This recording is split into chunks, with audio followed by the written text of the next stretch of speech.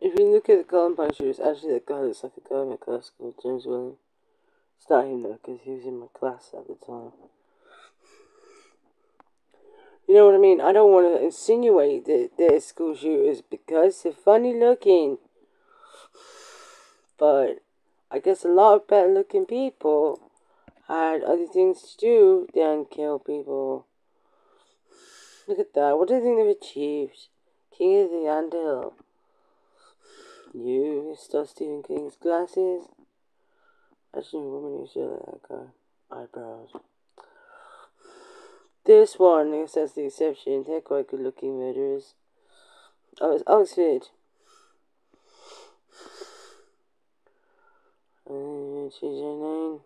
Thin. Thin, thin people.